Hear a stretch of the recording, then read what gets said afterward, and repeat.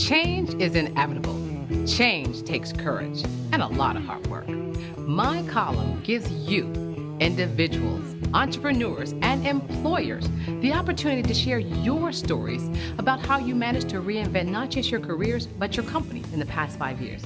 Check out this week's story.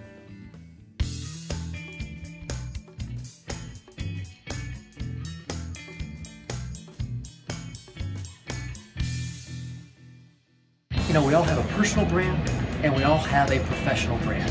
Be very careful today because how you act, dine, drink, post, whatever you do can now be observed all the time.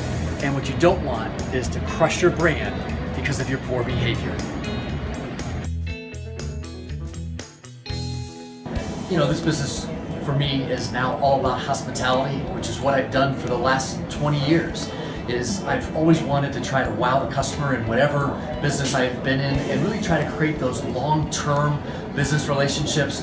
And what I feel I can bring to companies, organizations, individuals is helping them change the good enough service, good enough behavior that's in our business economy today and really help companies better succeed. You know, always be looking for that next opportunity because you never know when you'll be able to follow through with it. For more great story ideas, get in touch.